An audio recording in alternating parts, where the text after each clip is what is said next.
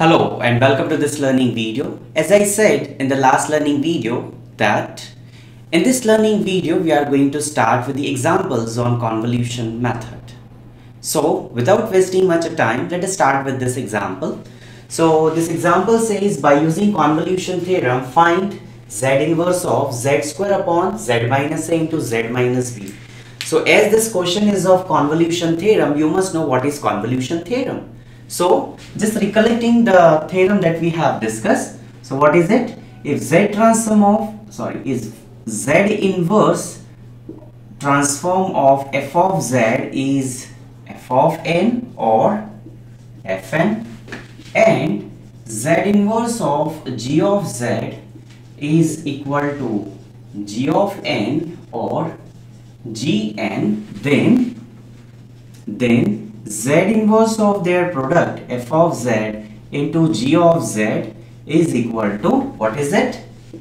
Fn convolution gn or this is also same as summation n is equal to sorry m is equal to 0 to n fm into g n minus n.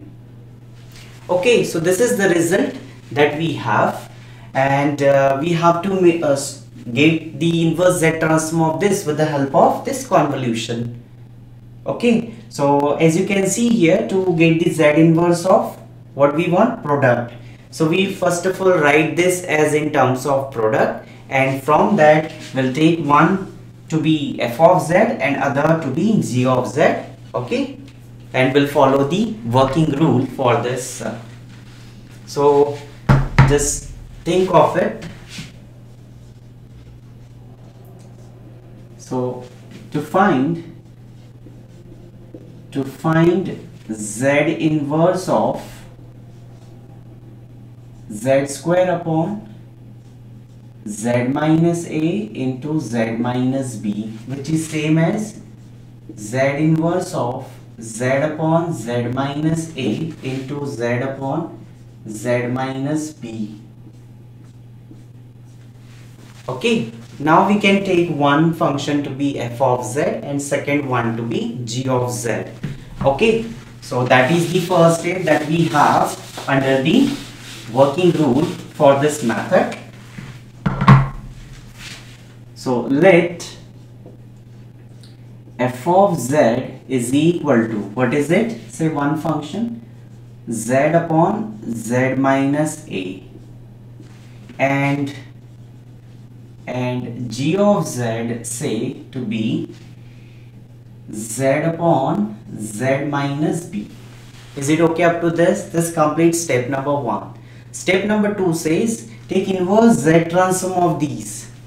Okay, so z inverse of f of z which is equal to z inverse of z upon z minus a.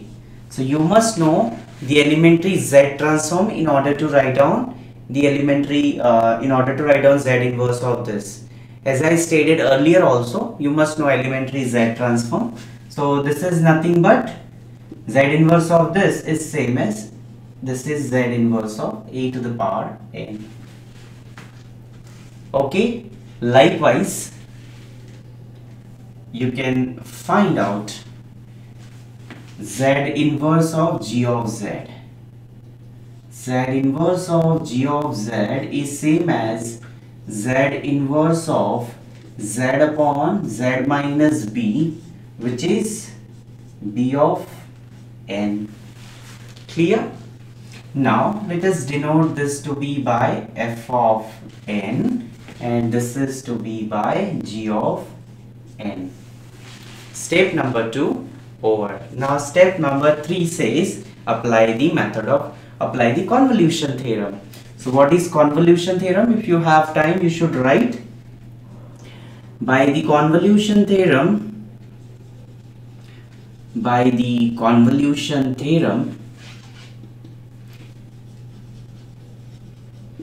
we have so what we have we have z inverse of what is it f of z into g of z is equal to what is it? Summation m equal to 0 to n f of n into g of n minus n okay? That is z inverse of what is my f of z? Z upon z minus a and this is z upon z minus b is equal to summation m is equal to 0 to n. What is my f of m? I have f of n as a to the power n. So what is f of m? It should be a to the power m. Clear?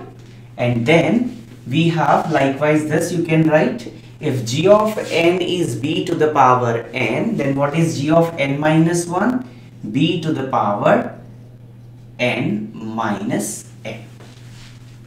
okay? b to the power n minus m. Is it okay up to this? Now you can apply here law of indices. Okay? So this would be b to the power n minus m right? So let me write it here. Summation m is equal to 0 to n a to the power m into b to the power n into b to the power minus n. I can write like this. Okay. Now what I can do is as you can see the summation runs over this n. Okay. So n being constant I can take it outside of this summation because the summation runs over m. So I can take the term of n outside. Okay, so let me uh, do it here.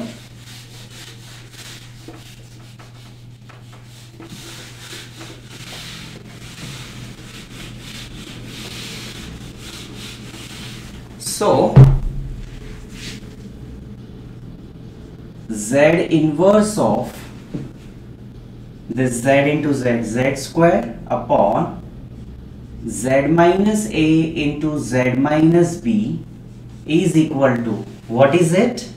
I can take b to the power n outside right? Remain with summation. M is equal to 0 to n.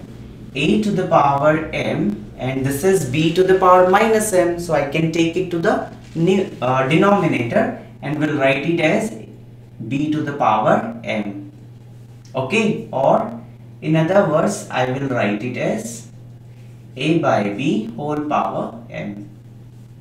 Okay, b to the power n outside, a by b whole power m, right? Now, solving this, I can write b to the power n. Now, apply the summation over here. So, put m is equal to 0. So, anything power 0 is 1. Then put n is equal, m is equal to 1. This is a by b. Put m is equal to 2 a by b square plus and so on what would be the last term a by b whole power m okay is it okay power n because m vary from 0 to n. Now i'm gonna make use of one result from the series expansion.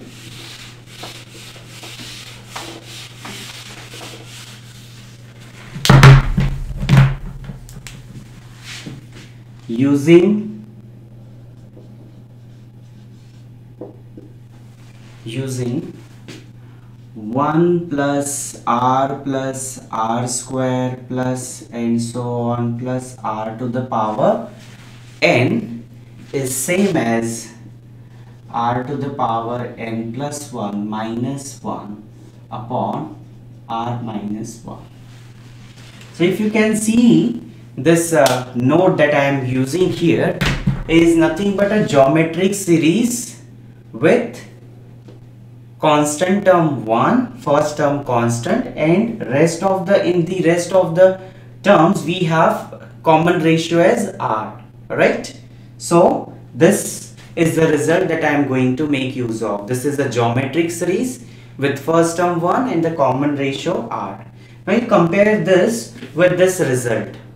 So what you can see, you can see that instead of R we have A by B. So apply the result with this. Okay. So this can be written as Z inverse of Z square upon z minus a into z minus b is equal to what is it b to the power n into now applying this result to this I will be getting a by b power n plus 1 minus 1 upon a by b minus 1 now you have to solve this. Okay so just take the LCM of this. So this is b to the power n into what is it?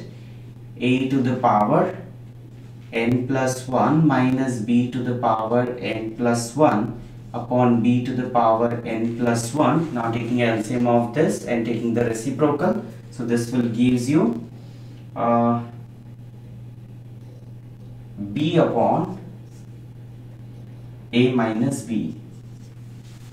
Okay now some term will get cancelled with this. So this 1 get cancelled with this and this bn get cancelled with this. Okay so what we remain with?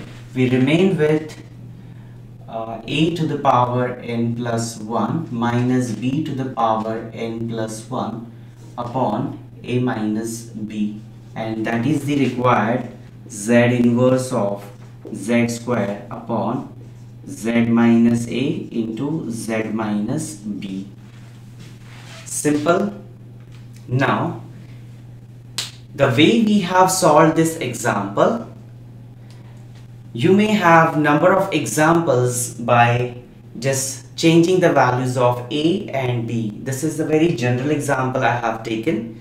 Now suppose the example would be like, let me write it as a try this problem that you have to do it so it should be like uh, say find out z inverse of z square upon z minus 1 into z minus 3 something like this. It may be like plus 1 minus 3 it may be like minus 1 plus 3 and then we can have number of uh, variety on this. You can just take any value of a any value of b. So just it is like one get one and buy one get many free.